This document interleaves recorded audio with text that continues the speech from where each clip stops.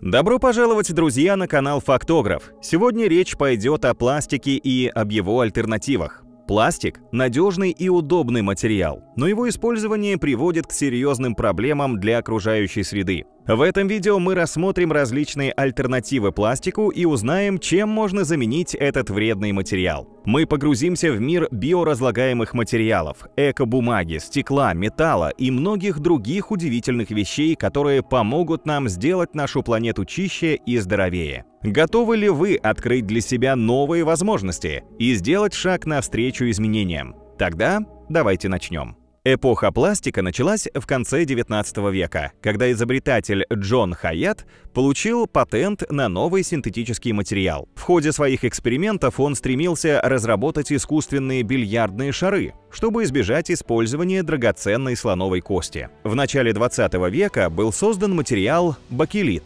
названный в честь его изобретателя Лео Бакеланда. Во время Второй мировой войны спрос на пластмассы значительно вырос, так как из них производились многие детали для авиации, флота и механизированных войск. В гражданской промышленности 40-х годов использование пластика стало настоящим прорывом. Из него начали производить легкие, прочные и доступные предметы быта, которые упрощали повседневную жизнь. Одноразовые пакеты, стаканчики, тарелки, подгузники, соломинки стали широко распространены. Но мало кто задумывался о негативном влиянии пластика на здоровье. Ведь это же так дешево и удобно. Но почему его использование может привести к катастрофе? Существует ли экологическая альтернатива?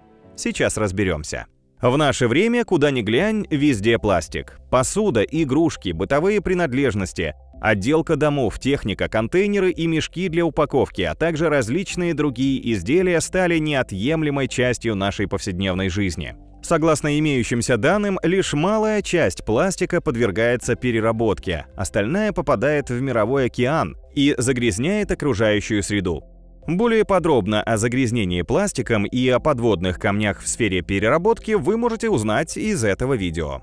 Чтобы понять, сколько вреда приносит пластик, не нужно даже сильно углубляться в эту тему. Достаточно вспомнить, что пластик разлагается от 100 до 1000 лет, а это значит, что все изделия, которые были из него произведены, сейчас находятся на Земле и вокруг нас. Например, на растворение одного полиэтиленового пакета в природе уходит от 200 до 400 лет. Полиэтилен, используемый для производства пакетов, самый производимый и самый выбрасываемый синтетический полиэтилен полимер в мире. При разложении пластик высвобождает метан и этилен, которые являются одним из газов, вызывающих парниковый эффект и способствующих глобальному изменению климата. Естественно, это отражается на экологии и нашем здоровье. При этом с каждым годом выпускается все больше пластика. За последние десятилетия его было произведено больше, чем за последние 100 лет.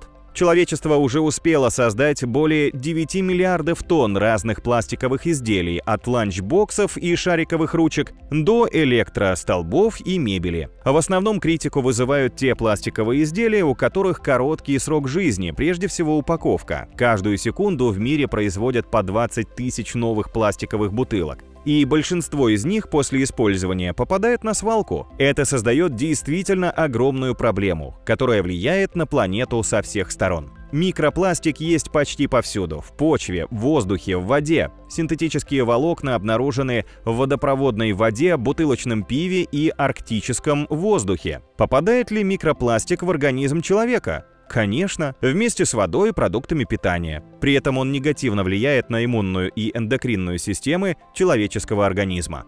Если ничего не менять, то человечество попросту утонет в пластиковых отходах. Как же остановить это пластиковое безумие? Какие существуют альтернативы? Сегодня весь мир борется против пластика, но полностью отказаться от него в глобальных масштабах не получится. Что же делать? Ждать катастрофы? Нет, у человечества есть выход – найти экологически чистую альтернативу. Современные борцы за экологию наряду с учеными разрабатывают свои заменители пластика на основе природных материалов. Что же они используют? Грибы. Грибы состоят из множества волокон, которые способны принимать различную форму. Ученые научились выращивать грибы нужной плотности, размера и формы. Грибами заменяют не только пластик, но и множество других материалов – кожу, резину и пробку. Вещи, сделанные из грибов, получаются прочными, огнестойкими и полностью биоразлагаемыми. Картофельный крахмаль. Как бы странно ни звучало, но крахмалистые остатки от производства чипсов и картофеля фри отлично подходят для изготовления материала на замену пластиковых пакетов. В сочетании с другими соединениями картофельный крахмал образует подобное полиуретану вещество. Пакеты из крахмала являются биоразлагаемыми и не вредят окружающей среде. Маниок это пищевое клубнеплодное тропическое растение растет в Азии. Маниок отлично переносит неблагоприятные условия, дает хороший урожай и его употребляют в пищу. Теперь ученые придумали новый способ использования растения. В сочетании с растительным маслом и смолами исследователи создают из него экологически чистый материал, идентичный пластику по своим свойствам. Он может стать э, компостированной альтернативой, которая разлагается всего лишь в течение нескольких месяцев. Трава, солома и стебли кукурузы. Из этих материалов фактически сельскохозяйственных отходов также создают альтернативу пластиковой упаковке. Технология подразумевает, что растительные волокна пшеничной соломы, травы или кукурузных стеблей разминаются и прессуются в неглубокие лотки, похожие на пластиковые, которые сейчас делают из вспененного полистирола. Эти отходы используются в качестве корма для животных, но обычно их образуется больше, чем животные могут съесть. А так как весь мир сейчас отчаянно ищет альтернативу одноразовому пластику и думает, как разработать альтернативные многоразовые системы доставки продукции потребителям, Такая переработка органических отходов с производством упаковки, которую потом можно собрать на компостирование, может иметь перспективу. Бумага. Супермаркеты, обычные магазины и даже модные бутики перешли от использования полиэтиленовых пакетов к бумажным. Функциональные и эстетические бумажные пакеты научились упаковывать даже то, что казалось невозможным – жидкость. Да-да, сегодня уже и молоко, и вино, и даже вода могут быть помещены в упаковку из бумажного биоразлагаемого материала. Как видите, альтернатива есть, и ученые продолжают активно работать в этом направлении. Да, пока это дорого, неудобно и недолговечно, но, возможно, вскоре все изменится. Уже не первый год борцы за экологию призывают нас отказаться от пластика, пока планета не превратилась в свалку. Однако, согласно исследованию, которое провели шотландские ученые в 2018 году, избавиться от пластика полностью скорее нельзя, чем можно. Ну а если такое возможно, все имеет свою цену. По мнению экспертов, запрет или резкое сокращение пластиковой продукции может привести к увеличению использования продуктов из других материалов, например, металла или стекла. Эти другие материалы потребуют значительно большего количества энергии и ресурсов для своего производства. Ученые подчеркивают, что нужно быть более дальновидными и для начала обеспечить замену пластика теми материалами, которые лучше подойдут планете, а уже потом отказываться. Ученые подчеркнули, что пластик не единственный мусор на Земле. Планету захламляет и металл, и бумага, и стекло. И если пластик разлагается в среднем 400 лет, то, например, алюминий около 500, а стекло и вообще более 1000 лет. Менять шило на мыло – не самый лучший выход. Поэтому экологи, биологи и производители полимерной продукции пришли к выводу, что полностью избавиться от пластика в настоящее время невозможно.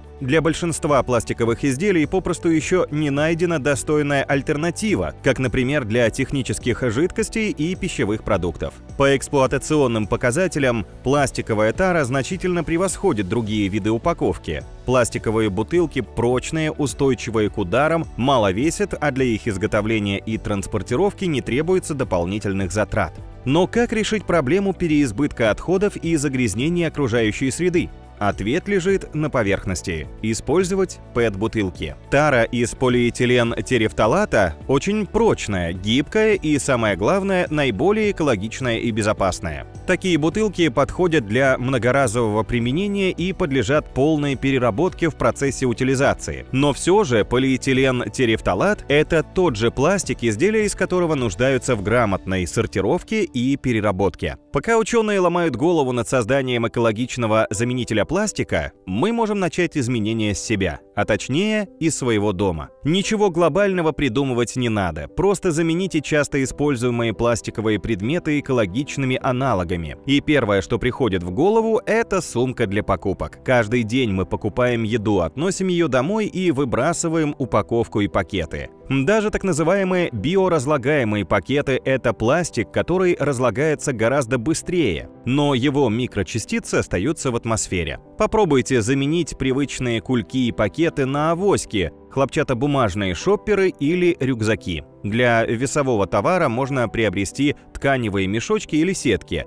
В них можно класть овощи и фрукты, чтобы дома не выбрасывать еще несколько упаковок. Откажитесь от пищевой пленки, которой закрываете тарелки с едой, и пластиковых контейнеров. Хорошей и долговечной альтернативой станут коробки для еды из нержавеющей стали или стеклянные контейнеры.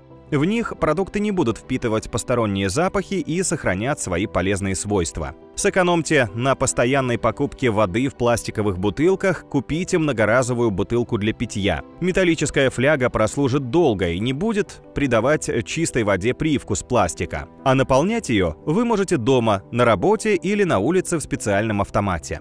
Если будете готовить коктейль, вместо пластиковых возьмите соломинки из стебля тростника и ржи, или многоразовые соломинки из нержавеющей стали. Или вовсе откажитесь от трубочек и пейте прямо из стакана. Ведь соломинки – это огромное количество пластика, без которого можно было бы обойтись. Теперь загляните в свою ванную комнату. Поменяйте пластиковую зубную щетку на бамбуковую. Бамбуковая щетка в 100 раз быстрее разлагается и при этом является качественным экопродуктом. Та же история с ватными палочками. Выбирайте бамбуковые. Вместо одноразовых влажных салфеток обратите внимание на антибактериальный гель. Маленький флакон займет меньше места по сравнению с упаковкой салфеток. Одной капли антисептика будет достаточно для дезинфекции, и его вам точно хватит на несколько недель.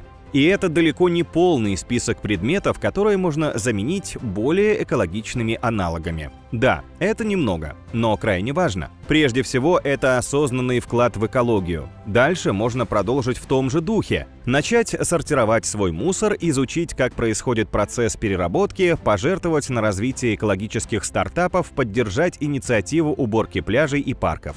Все в ваших руках. Поэтому если прямо сегодня мы не можем полностью избавиться от пластика, то давайте хотя бы ограничим его потребление и начнем пользоваться более экологичными альтернативами. Маленькие и несложные шаги навстречу осознанному потреблению помогут сделать нашу планету чуть чище. Ведь это наше с вами здоровье. Делитесь с нами в комментариях, можете ли вы минимизировать пластик в своем быту, какими лайфхаками пользуетесь и ощущаете ли вы дискомфорт, заменяя пластиковые предметы на более экологичные аналоги. Нам будет интересно узнать вашу позицию.